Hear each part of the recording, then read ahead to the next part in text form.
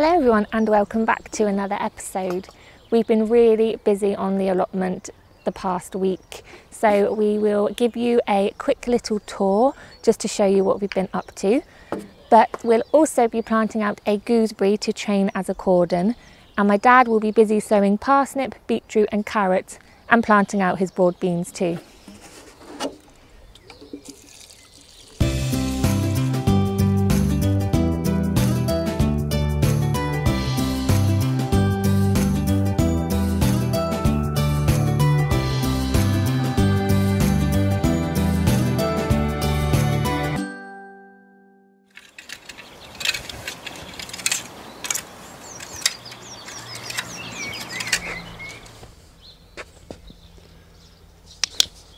Right, um, going to be sowing some seeds in this uh, prepared bed. Now I've raked it to a fine tilth.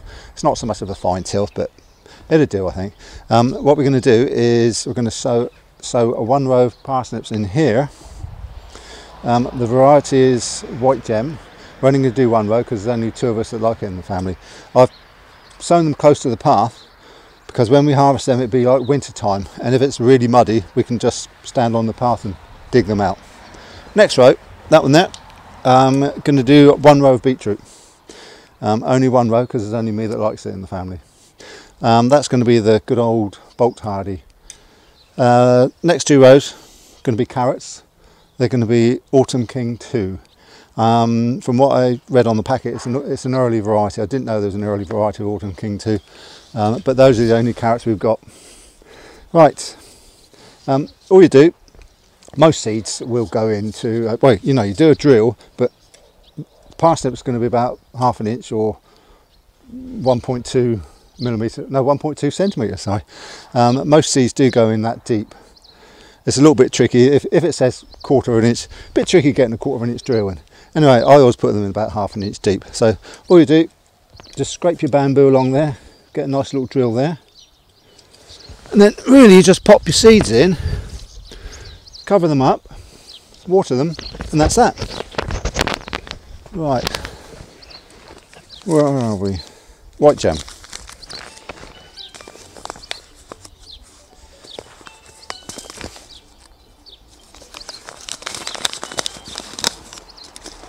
These are this year's seed. It's always best to use fairly new parsnip seed. Um, the other seeds you can use from previous years and they should be okay. They're quite big, the parsnip seeds as well. So, as I say, sprinkle them in.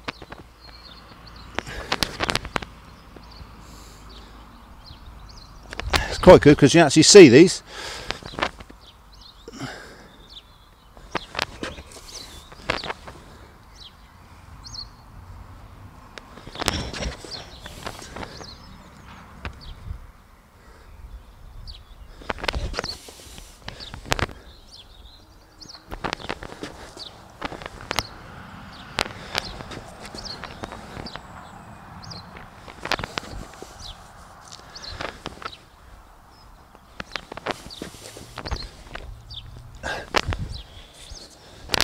Few more.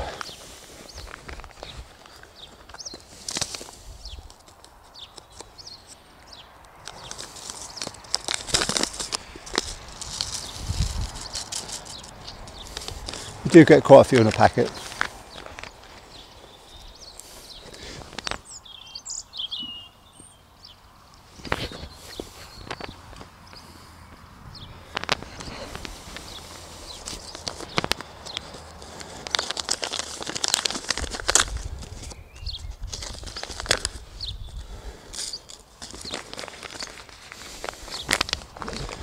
And then you just go down the row and just cover them up.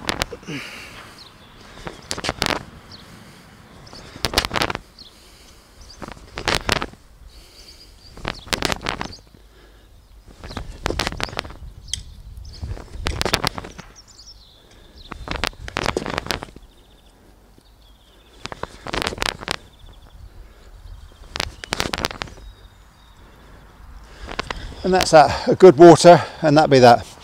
They will take um, they do take some time to germinate the parsnip seeds but um, then obviously I'm just going to carry on and sow the other two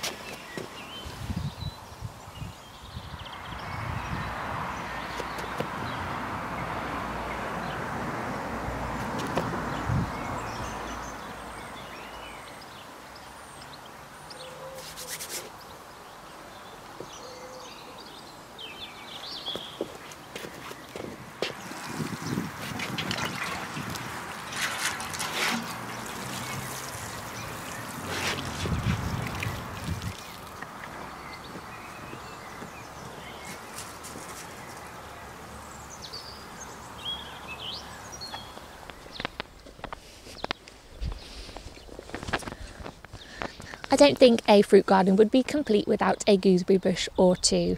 Now, I actually have two gooseberries over on the old plot. And they were planted about seven years ago now, but before then, I didn't have a clue what a gooseberry was, what it tasted like, um, and it's safe, safe to say that I am quite addicted to them now. They are absolutely delicious. So I knew that I had to have gooseberries on the new plot. But what I've done is I've gone out and bought two new gooseberries um, because of a very special reason. Now, when we went to River Cottage last year for my dad's birthday, when we were looking around the vegetable garden and the fruit garden, and we came across the gooseberries, which they grew as cordons. And it's not only a way of saving space, but it also makes it easier to pick them because, as we all know, gooseberries can be horrible to harvest. They've got these spikes and these stems that are just absolutely hurt when you pick them, and you're often just left with scratches on your hands. Um, so, yeah, it's easier to pick them. You also save space, and it's supposed to provide a better harvest as well. So I thought I'd try that on the new plot, um, which means that I'm not using my old bushes because I grew them as bushes. They are just a big mass of twigs, um, and I think it would be a lot easier to buy new ones so I can prune them and train them when they were young. Now, I was careful when I chose my two gooseberries from the garden centre because I was looking out for two strong stems which I could train. Now, this one actually has three stems on it, but what I'm going to do is I'm going to prune away this one to leave these two stems here which I can train upwards. Um, obviously, I need to build a frame so I can attach these stems onto them and allow them to grow upwards with a little bit of help. Um, but yeah, I'm pretty excited to, to see what they turn out like. I've got one here and one the other side of the archway. And what I've done is I've chosen two different varieties. Now they are both Hinnonmaki, but one is green and the other one is red. I've never tried a red gooseberry before. I've heard that they're meant to be a little bit sweeter. Um, so yeah, I'm really looking forward to trying that red one and just looking forward to see how they turn out. So what I'm going to do first is just going to prune this one by picking the two strongest stems and then pop it in the ground and what I will do in a week or so when I have a little bit of spare time I will make a frame for them to grow up.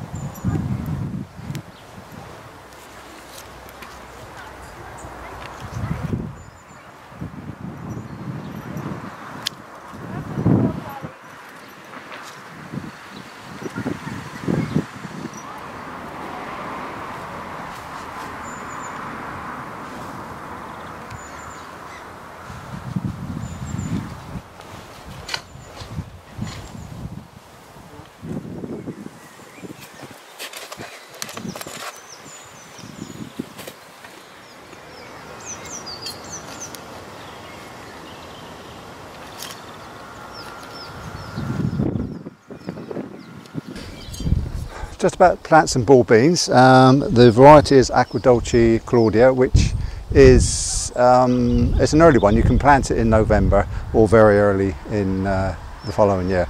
Um, I usually start them off in the greenhouse because we planted them before or sown the seeds before and we have trouble with the mice at the allotment. So I start these off in the greenhouse, harden them off and then bring them up. Usually I'm bringing them up a little bit earlier but it was very wet last, last month. Right, um, I usually put them just over a plant, plank's width like that, uh, which is about 14 inches, and about 8 inches or 20 centimetres in between each plant. Right.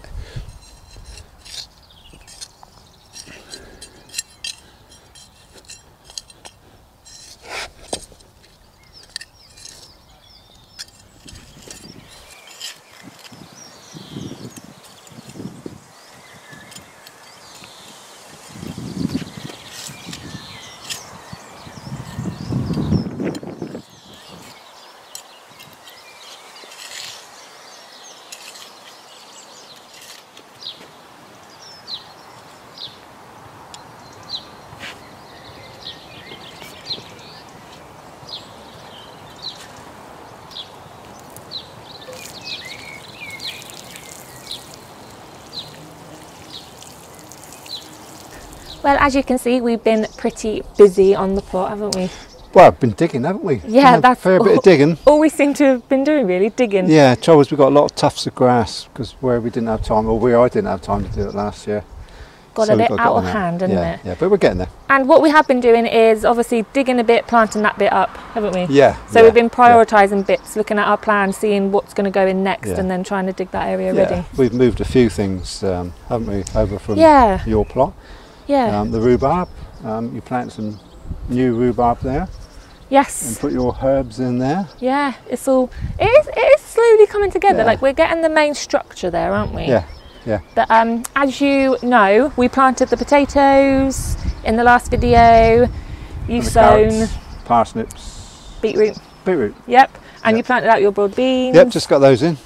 And we've started getting the fruit in. So obviously the two gooseberries went in to grow as Yeah. cordons. And you want to put your raspberries. raspberries across the top, don't you? They've Yeah. got to go in fairly soon because they're starting to grow, Yes. aren't they? Starting to bud. And then we moved the four black currants over as well. That Yeah. was quite a job, wasn't it? Yeah, yeah, because the roots, the roots are like that, aren't they? They were big. that round, Yeah. that deep. Managed to get quite a bit of earth with it as well, Yeah. didn't we? So, So yeah, all the fruits going along the back edge there. yeah. So it's going to be quite nice. Yeah. And what else have we done? Um, you've got your globe artichoke in oh over yeah, there. haven't you? move the globe artichoke over. It's it's only small. It actually hasn't grown that well over on my old plot, so hopefully it'll grow better there. Of course it will. nice bit of soil. we hope. Looks nice though, doesn't it? Yeah, it Just does. hope the weeds don't come through too quick. yeah. But I no think doubt they will. I think we've dug about three quarters of it now, haven't Yeah, we? just got a little bit there, hasn't it? And Yeah. a little bit there as well. yeah. Um, But like I said, we've been So- prioritising areas, haven't we? yeah, the next one we've got to do is put the onions in down there, haven't we? To Yeah. the edge of the round. Onions are next. Yeah, And I want to sow some poppies yeah, and plant some gladioli out as well, but that's going to go here, so we just need to go back a little bit there. yeah, yeah, But I mean, it's all going to be dug, isn't it? yeah. And of course you want to get your, move your shed. Yes, that's the So- next job to do. Move the shed over. We just wanted to to get things planted out, didn't we, before Yeah, the shed came yeah. over? Yeah. Because that's um, that's not as important, is it? Well, no, no, Really? no, that's right. No, well, we should be, uh, in the next few days, you should be able to get the rest of it out, shouldn't we? Yeah, And then hopefully about a week's time, move your shed. yeah. We're actually hiding one of the the newest features of our plot. What's that? Oh, yeah. yeah, You can't Yeah. see it very well, can you? No. it's good, isn't it? Yeah. So you can walk round it now. It's quite Yeah. nice. C- have to be careful with turfs. I only just put them down. Yeah, he Oh, laid this down today. Sorry. it's going to look nice though when it's all finished. Yeah, we you can put anything in. under Yes. there? So we've got the apple tree from my old plot, and then we're gonna we're gonna underplant it with bulbs, don't we? Oh, yeah. So like yeah. daffodils yeah. and yeah, tulips. I forgot about that. Yeah. And crocus and things like Yeah. that. But obviously we'll be doing that in Yeah. November when you can plant the bulbs out. This was only moved a few days ago, wasn't it? Well, and yesterday, was it? Yesterday, Oh, yeah. Time flies. So, mm, I don't I'm know. a bit worried know. about it. So the blossom might fall off, mightn't it? But um, And we had to be okay. we had to prune. There were some branches down Yeah. here, weren't they, which Yeah. were like out here, so yeah. they had to go. Would have been a bit low, wouldn't it, with the old wheelbarrow? Like yeah, that. we would have had to have limboed under it. As it is now, that bit's going to hit me. I really like it though. I think it's a really nice feature. Yeah. And yeah, we've got the herbs there and the rhubarb, and then we're gonna put herbs here and then another rhubarb there. So it's going to be a little bit of symmetry, which I quite like. Going to look nice. Yeah. Looks very nice. But yeah, I think that's about all that we've done, isn't it? We have been slowly so. cracking on with Yeah. it. Yeah. But yeah, I think that's about it. I think we're going to head home now and have our Yeah. supper. It's getting a bit late. I think everyone else has gone from the site. So, It is. is it? to Is it? Oh Five my to six. I don't got have go. watch on. We're going to have to go. Right. Thank you so much for watching. and we'll see you next time.